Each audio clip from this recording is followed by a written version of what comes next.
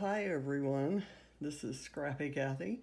I'm going to today show you a technique using spray inks and as you can see I've got them all lined up um, kind of in rainbow color order along with some Heidi Swapp uh, Color Shine in gold which I think adds something to almost every project you do.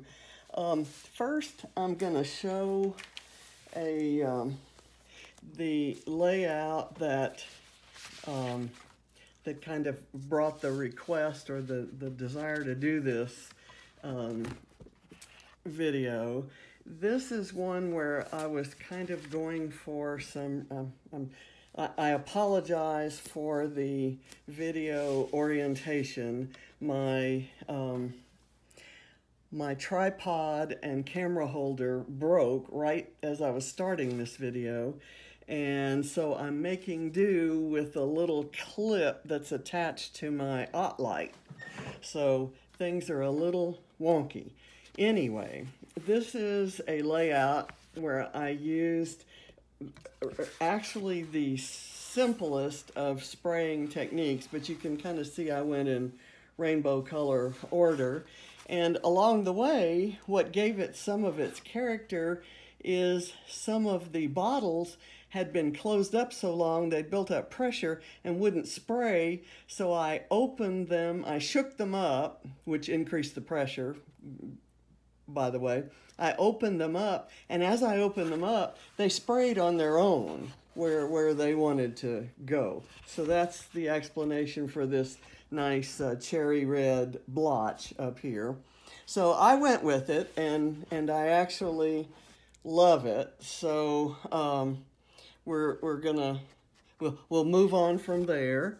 Um, this is another layout I did. Uh, also the technique, uh, I guess probably a technique I'm gonna show you today, I probably ought to point that out.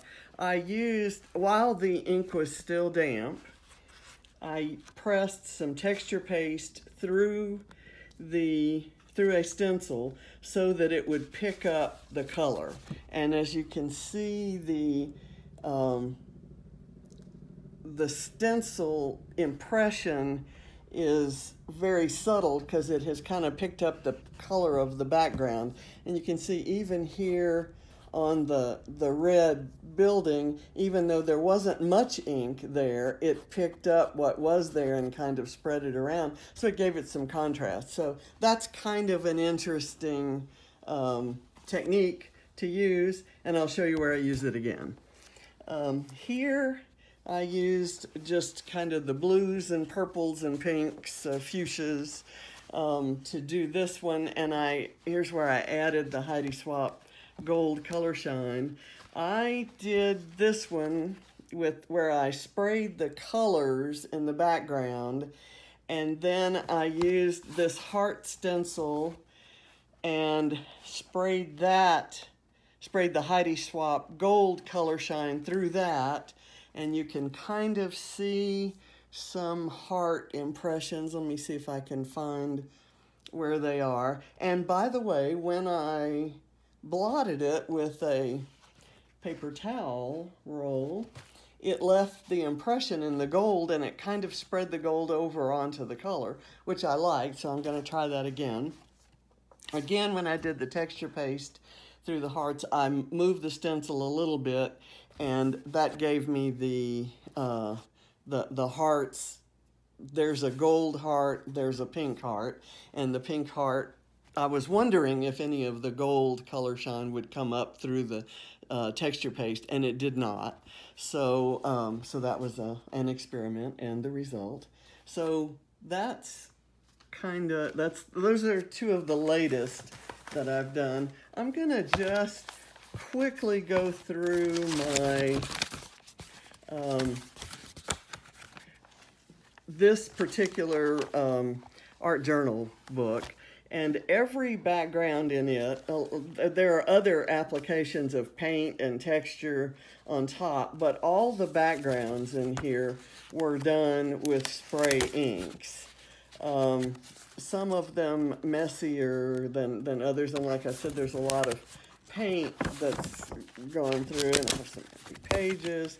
This one was one where I used the oranges and reds and pinks and then I went over with white. I, I have no idea what I'm going to do. This one actually was a painted background. This one was spray ink and spray ink sprayed through a sense. This was also um, done with ink almost entirely. Even the black was done with ink. Um, this page was done with ink. That one too. That one, I'm trying to get to one. This is one I just uh, did the, the I used one color. The, uh, let's see, it is um, crushed grape, I guess. Um, and and then I used stamping and, and stuff. This is the one I wanted to show you because it's most like the technique I'm going to try for today.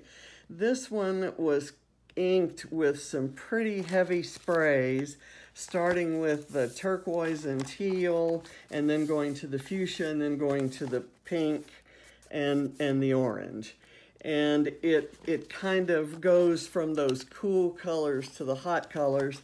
And I've, I've, I have no idea what I want to do with this page.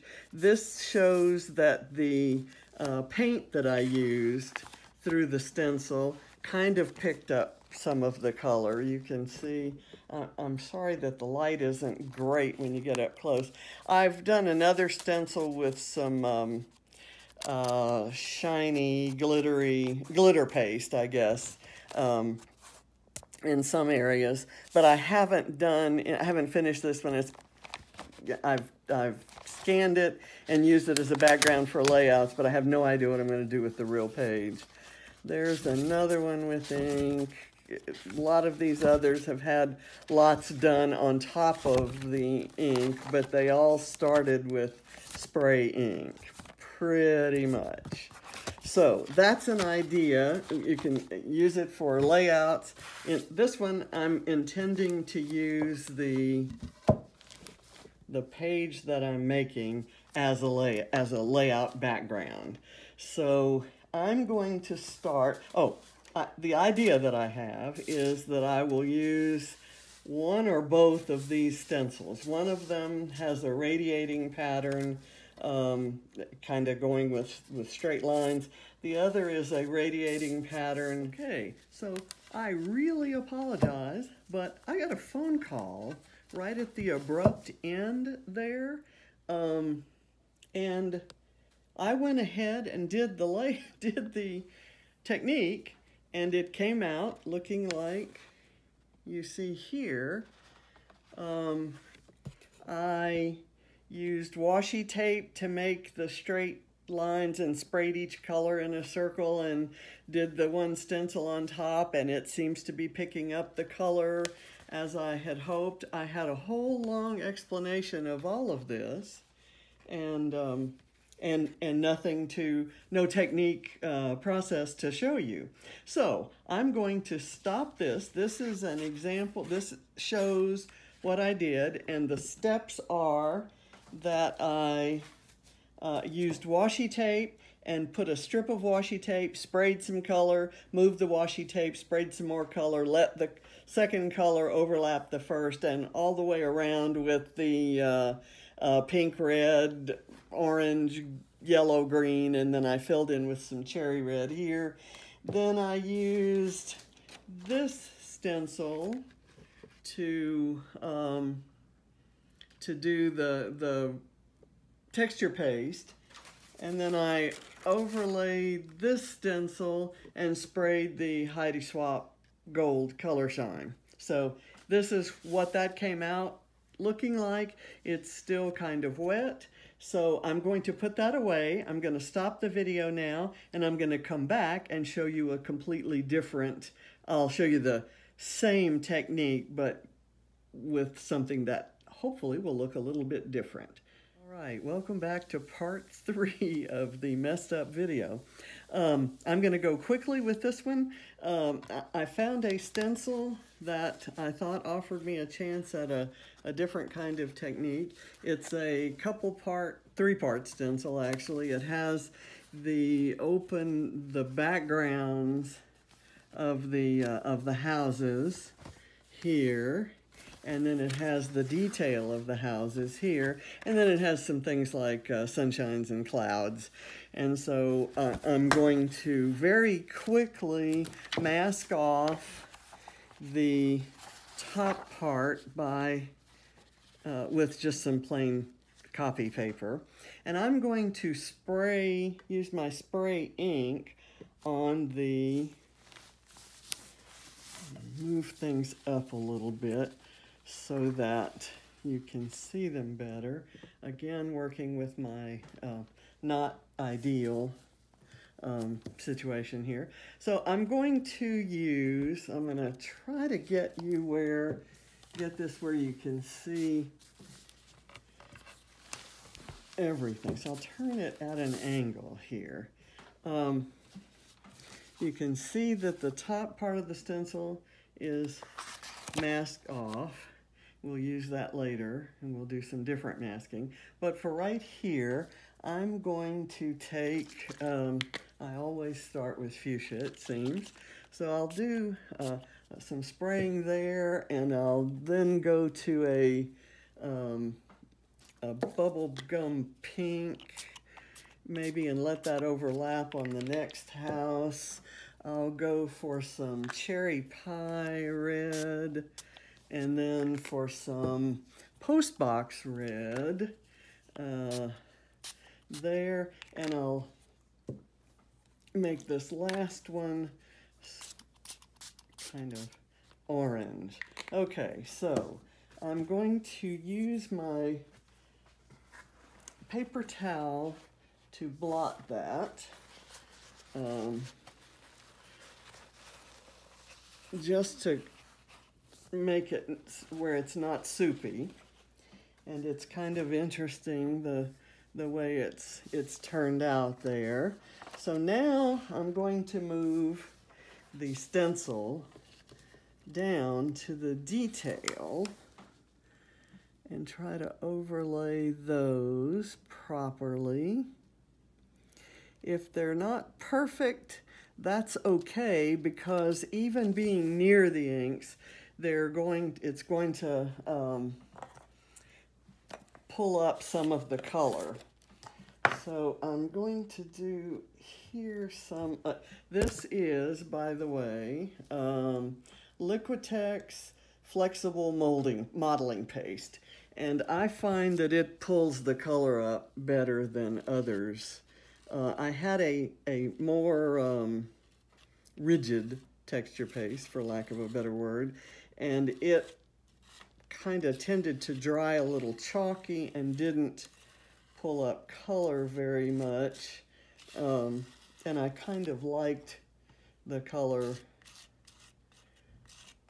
thing. I may add some of those clouds. I'm trying to get you out of here with, and so, so this is a, uh, the least painful watching experience you can have. Um, so that's what it looks like now. I'm expecting the um,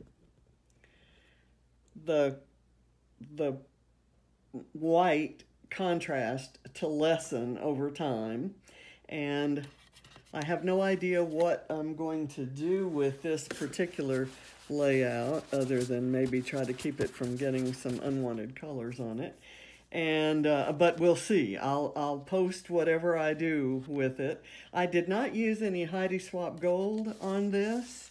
Um, I may, uh, if I add the uh, the sunshine uh, there, I may try to experiment with some gold, but that won't be in the video. And I will turn you loose now. The challenge, obviously, is to spray with reckless abandon any uh, inks that you have that you want to play with.